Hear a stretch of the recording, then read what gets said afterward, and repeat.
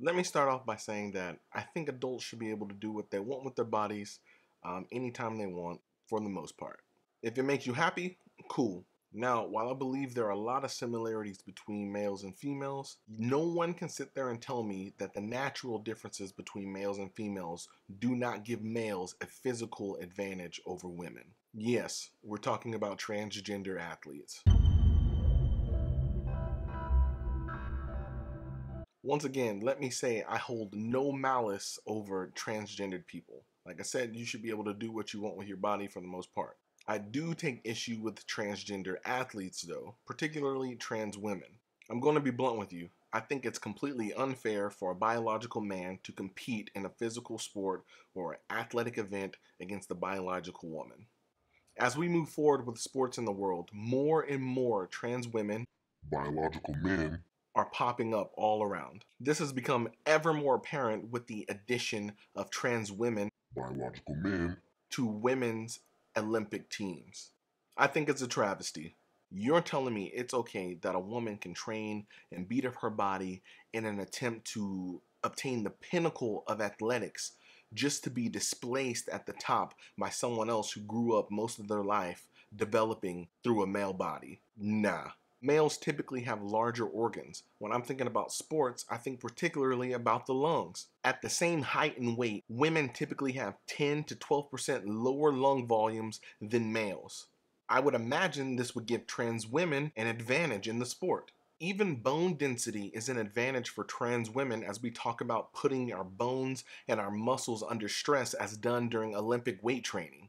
Notice I said growing up or developing as a male. I say this because nowadays, even those running the Olympics believe that if a trans woman, a biological male, takes estrogen or some type of hormone blocker, it's fair for them to compete against the biological woman at this point. They believe that if their testosterone is within a certain range, that it's okay to compete against biological women. That's mad stupid. Taking estrogen or having your testosterone levels reduced to a certain degree before an event or when you start competing as a woman does not negate the fact that you spent years developing as a male. People know this stuff, whether they say it out loud or not. Let me give you an example. At least in the Army, male and female standards are not equal in the military. I was a medic, and yes, women could become medics. There's no issue with that.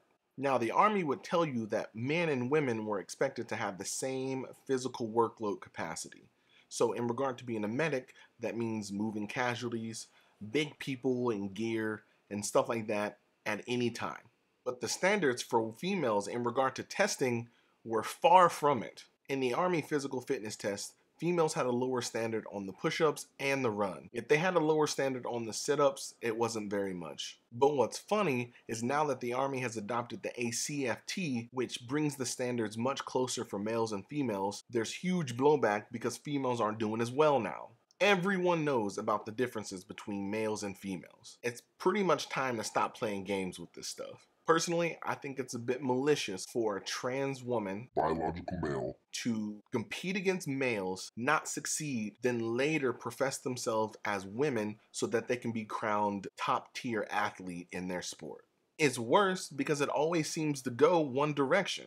When is the last time you seen a trans man, which is a biological woman, compete against men and be successful?